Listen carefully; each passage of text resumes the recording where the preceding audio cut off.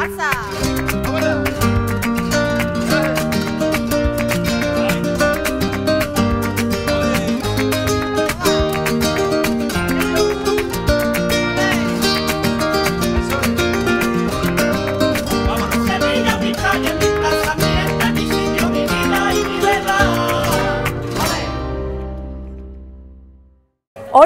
a todos, hoy comenzamos el programa, ya veis, en un lugar especial, no estoy en el exterior, por las calles de Sevilla, me encuentro en el mercado de abastos de Triana, justo a su entrada, por el puente de Triana. Desde aquí comenzamos el programa de hoy, un programa colorido, especial, porque en pocos metros, en esta manzana que rodea al lugar donde me encuentro, vamos a descubrir lugares emblemáticos y estratégicos de Sevilla y de su historia.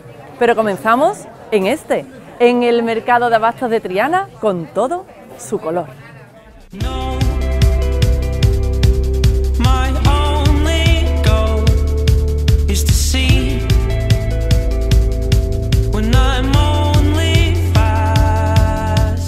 El mercado de Triana se ubica en el corazón del barrio, junto al puente que lo une a Sevilla y en un punto de confluencia de las calles más típicas del barrio, San Jacinto, Betis y Castilla.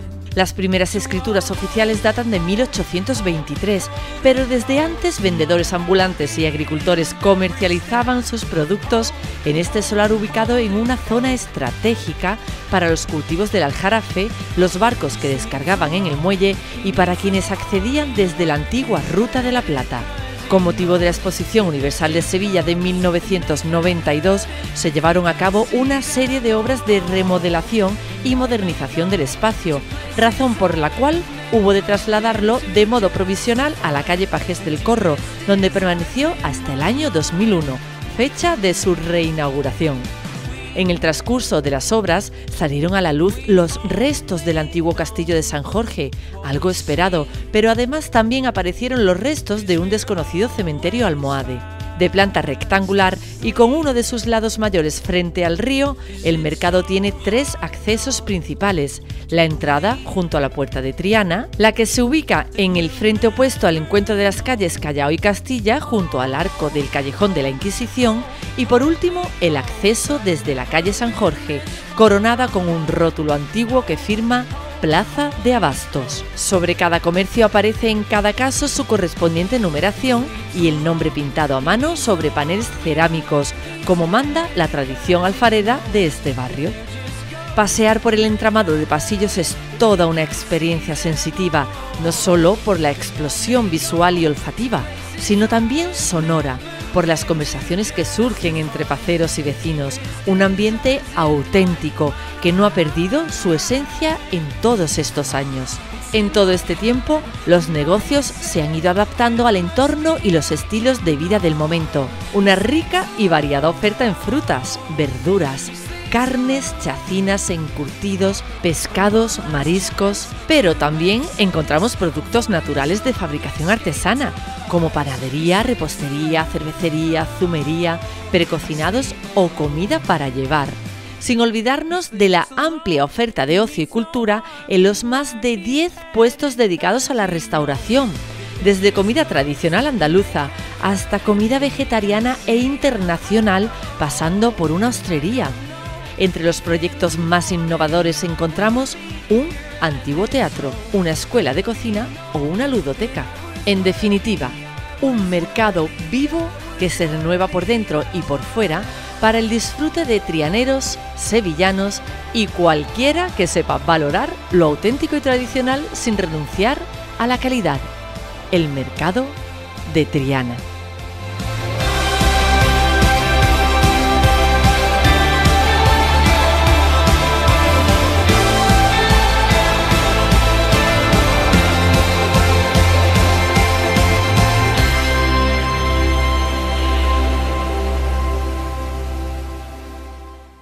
Bueno, ¿a quién acabo de ver?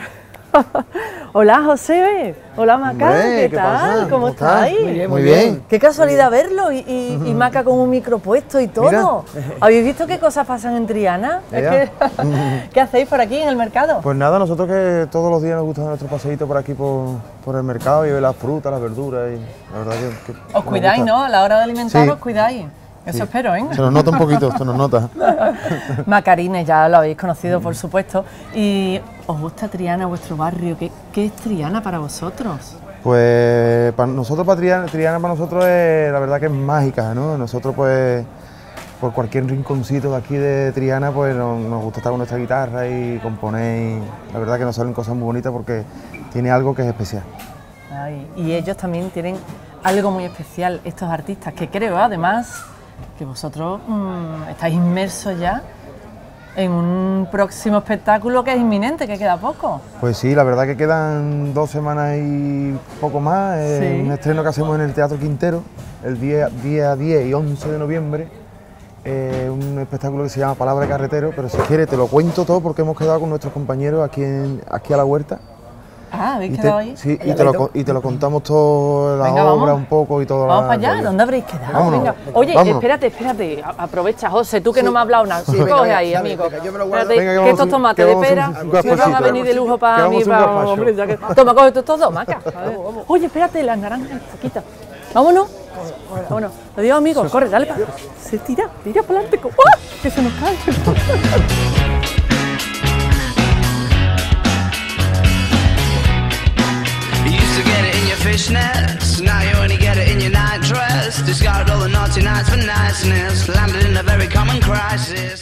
Somos un cuadro ahora mismo, aquí estamos los cinco, porque ya hemos entrado en Casala, este teatro tan original que tiene el mercado de Triana. Y aquí nos encontramos porque quería yo hablar con Macarines y, como ellos decían también, con Dani y con Luis Franco, porque todos ellos integran eh, la obra de la que vamos a hablar. Poner mucha atención, por favor. Hola a todos. Ahora que estamos ya todos juntos. ¿Quién me va a contar, mm, en pocas palabras, la obra de la que estamos hablando?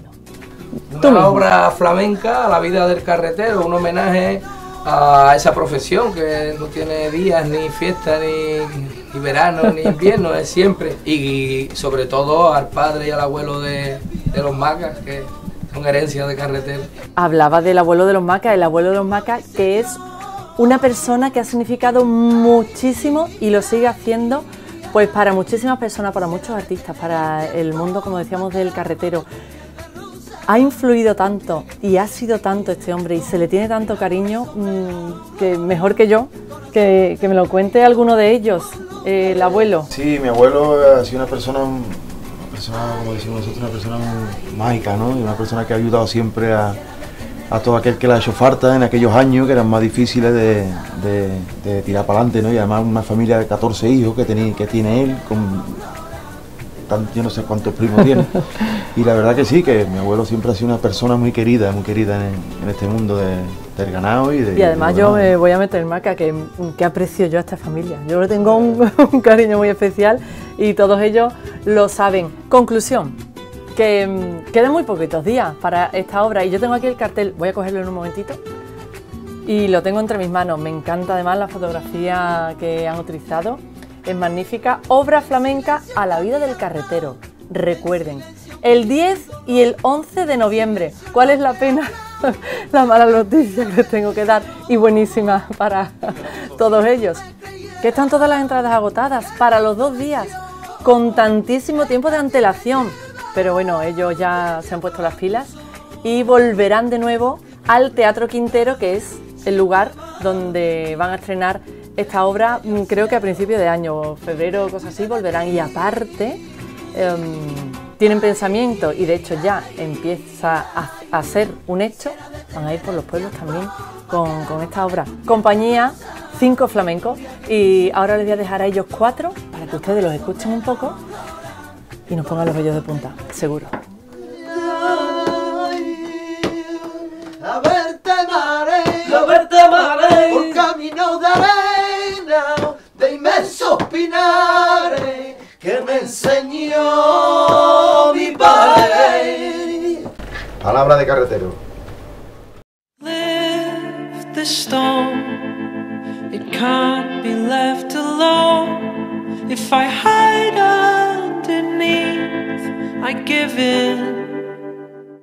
Estamos en el interior del museo Castillo de San Jorge, justo pegado al mercado de Triana. Hemos salido por una de sus puertas y aquí nos encontramos. Ya hemos comprado todo, ¿no? Lo que nos hacía falta en el mercado. Los tomates, el pescado, mm, ¿sí? ¿No? Yo ya lo llevo todo en la cesta de la compra. Y ahora vamos a un lugar, como os he dicho, emblemático. Nos ponemos serios porque este lugar recorre la historia de Sevilla y vamos a prestar mucha atención.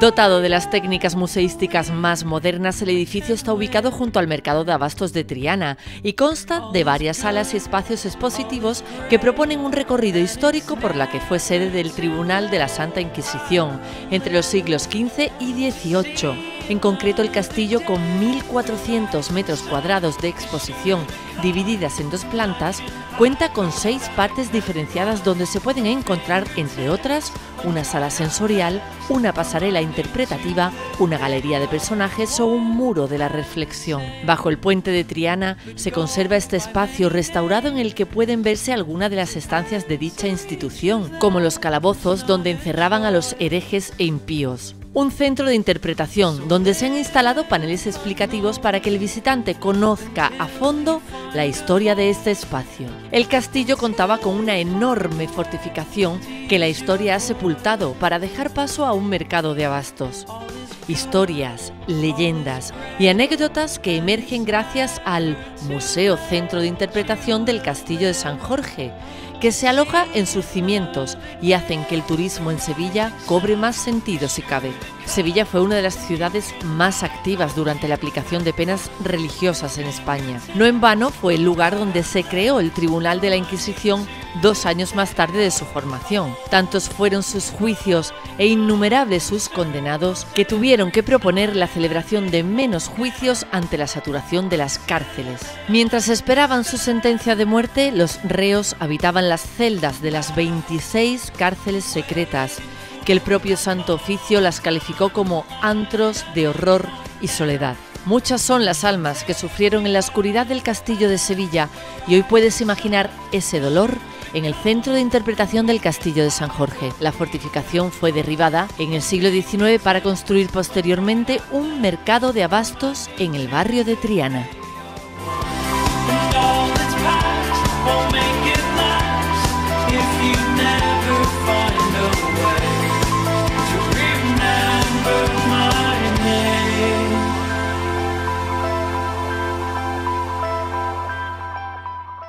Estoy en el callejón de la Inquisición, justo al lado del Museo del Castillo de San Jorge y del Mercado de Triana. Es un lugar emblemático, un lugar estratégico para entender la historia de este barrio. Os vamos a dar algunas pinceladas históricas.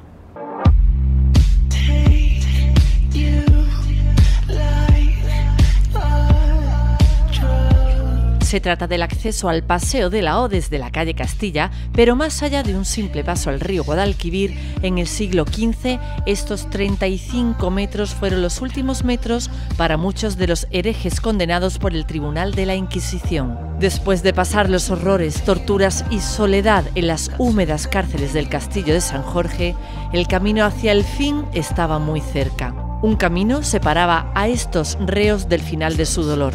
El callejón está situado en las que fueron las laderas del castillo de San Jorge. El castillo fue edificado por los visigodos que crearon una fortificación junto al río para la defensa de la ciudad. Fernando III toma la ciudad en 1248. Desde dicha toma y hasta 1280, el castillo pertenecería a la Orden Militar de San Jorge, patrón de los caballeros y los soldados. Ya en el siglo XV el castillo pierde relevancia y se convierte en la sede de la Inquisición y por el callejón que lleva el mismo nombre se conducía a los reos que bien iban a la cárcel para ser juzgados o bien a la hoguera de los condenados por herejes y traidores a la religión católica. La Inquisición estuvo establecida en el castillo desde 1481 a 1785, cuando se trasladó al Colegio de las Becas en la zona de la Alameda de Hércules. El Tribunal de la Inquisición estuvo activo hasta 1820, cuando Fernando VII lo abolió, fecha que coincide con la demolición del castillo de San Jorge, del que solo quedó nuestra calle protagonista, el Callejón de la Inquisición.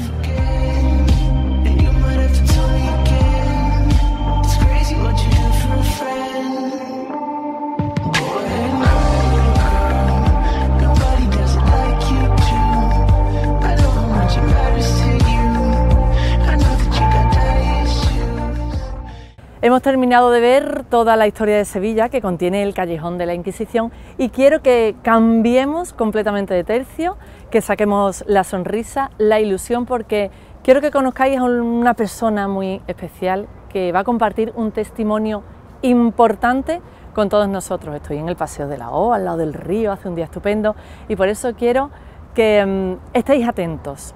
Es importante, de verdad, es un momento solidario y que hay que compartir. Y está aquí Victorio porque me hace falta Victorio el testimonio para hablar con vosotros. Gracias por estar aquí. ¿Y tú cómo estás? Pues estoy bien, Bien, estoy bien. bueno. Como, como dice mi padre, los hay peores. También los hay mejores, claro. Bueno, Italiano, ya lo veis, por el nombre y por cómo habla. ¿Te gusta Sevilla? bien, muy bien. Eh, ¿Sevilla estoy- es bonita? ¿Cómo es? Oh, muy bien, muy bien. Son 20 años que estoy aquí.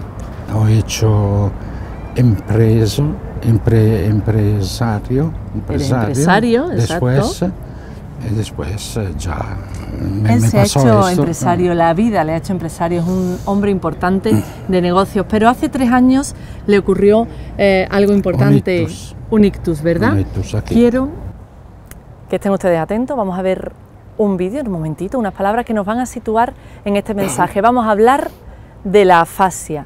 Estamos aún en el mes de la afasia. ¿Qué es la afasia? ¿Usted lo sabe? Pues les recomiendo que esté atento.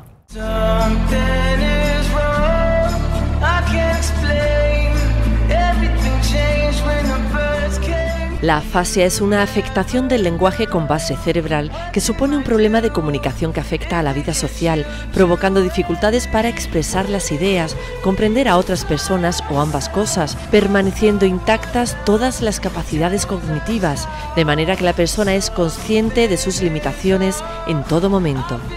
La Asociación para la Rehabilitación y Prevención de la Afasia, ARPA, es una asociación de naturaleza asociativa y sin ánimo de lucro que nace con el interés de agrupar a aquellas personas y sus familiares que padecen trastornos del lenguaje derivados del daño cerebral, conocidos como afasia.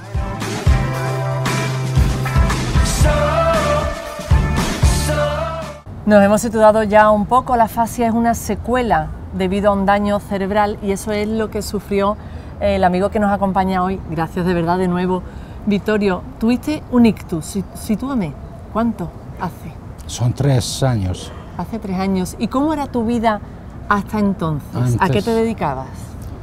Yo soy, antes de todo, soy italiano. Bien. Es italiano, ha quedado claro, ¿eh? Soy eh, arte, arte- arquitecto, Arquitecto. bien, y también eh, impe- impre- in- A ver qué me va a decir. intre- ingrer- eh, in- A ver qué me vas a decir, Victorio. inge- ingeniero, Ingeniero, también, de ya lo hemos camino, adivinado.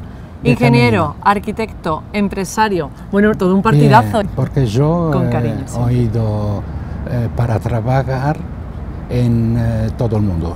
Todo el mundo por, por el eh, comienzo, el eh, comienzo de por el italiano. gobierno de Italia. Y en el momento del ictus, ¿qué ocurre, Vittorio? Familiarmente, Que ¿cómo nada, por, influye? por suerte que tenía mi mujer, también los amigos, eh, Violeta, Violeta, eh, que me ayudan, que, que me ha dado un mus- mucho ayudo. Después eh, yo encontré, encontré la, la arpa. Arpa Y tú piensas eh, tú eh, piensas que yo no hablaba nada, nada, La secuela nada, fue, nada, nada. no podías hablar, Esto, no puedo escribir, no podías no escribir. puedo ele- eh, eh, leer, leer, Leer nada, tampoco. nada, nada, nada, nada. Lo importante y lo que yo quiero sacar de este testimonio, Victorio, es que hemos dicho todo lo que te ocurrió, Sí, pero te estamos escuchando hablar, gesticular. Claro. Él escribe, él se expresa, él además es un, es un artista porque además pinta. sí, claro. Eh, has vuelto a leer. Eso Todo eso ha sido eh, gracias a tu entorno familiar, a tus amigos y a ARPA, Es claro. porque allí te La ayudaron, arpa- ¿verdad? La arpa, sí, sí, sí. Son dos años que hablo con ellos, no con ellos, con eh, Los terapeutas. Laura, Laura, Laura es su terapeuta. Laura, Sara, Aaron, que son los eh, profesiones. Los profesionales de allí, Eso. claro. Mil gracias. Ya saben ustedes, ya está, dice. Ya está. Alegría, ilusión. Bueno, No nos podemos estancar y hay soluciones. Y en este caso con la afasia, la asociación ARPA en la gota de leche en Sevilla, capital. Infórmense ustedes para cualquier familiar, amigo que pueda necesitar de esta ayuda. ¿Me das un beso, no? bueno. Mil gracias, que es que tengo guapa, que seguir. guapa. Gracias, me va a poner roja, colorada, Victorio. Que tengo que seguir caminando por Sevilla, por Triana. Bueno, Sí. gracias. Vamos. Seguimos, ¿eh? Bueno, chao.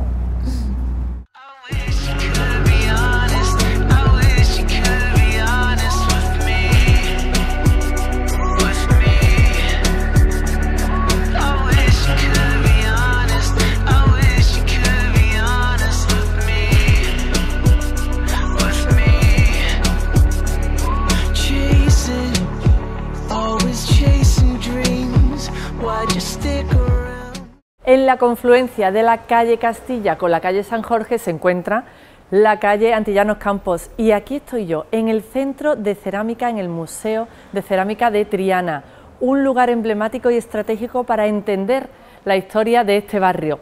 ¿Queréis pasear conmigo? Seguro, ¿no? ¿Me acompañáis? Venga, vamos. Why'd?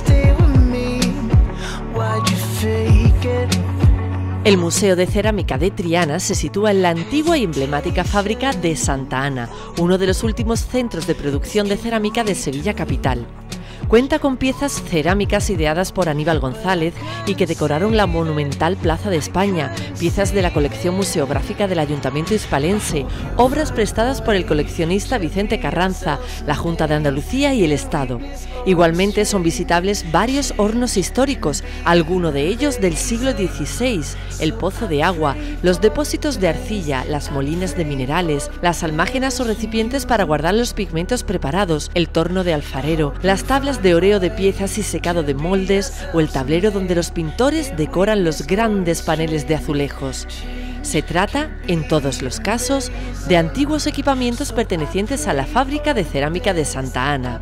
Museo de Cerámica de Triana, un producto cultural y turístico que es motor económico para Triana, poniendo en valor la riqueza de su patrimonio material e inmaterial.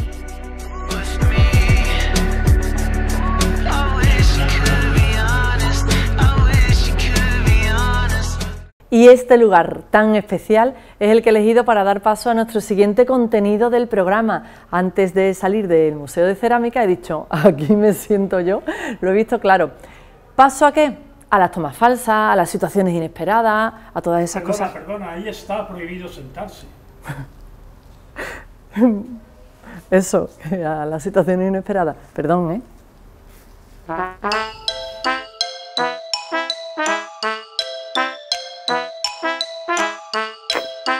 Tú puedes. Como me relíe, amiga. El momento que acabamos de vivir, las pinceladas. ¿Qué he dicho? ¿Qué he dicho? Ay, que tengo hambre y se nota mucho. Voy. Estamos en el interior del Museo de Castilla. Van unidos en su historia, porque por ello os vamos a. La, la, la, la, la, la, la, la, la, la, la, la, la. Venga, sí. Tú me dices. Os vamos a dar algunas pinceladas históricas para que entendáis. ¿Qué me pasa? Voy. Y, y ya está. ¿Vale? Lo vamos haciendo así. ¡Oye! ¡Uh! micro! Ya. Hasta aquí el programa de hoy, el programa Destino Sevilla termina. Eso sí, os espero la semana próxima, que estamos preparando un lugar emblemático para visitar como siempre. No me faltéis, os espero, como siempre, en Destino Sevilla.